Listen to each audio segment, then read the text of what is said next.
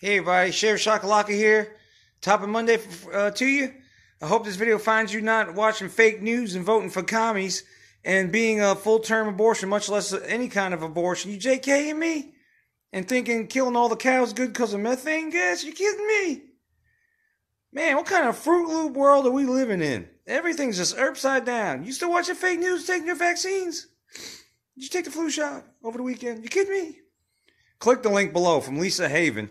It seems like uh, this censorship is a one-way street. I mean, now we got PayPal banning a lot of uh, conservatives for their political views. Since when does a money platform have anything to do with politics? But this is what the Luciferian, the Communist Party of America, is up to. If you're on that side of fence, congratulations, you're doing the bidding of your daddy, Satan himself. Click the link below. Quit watching fake news and voting for commies. You make me mad.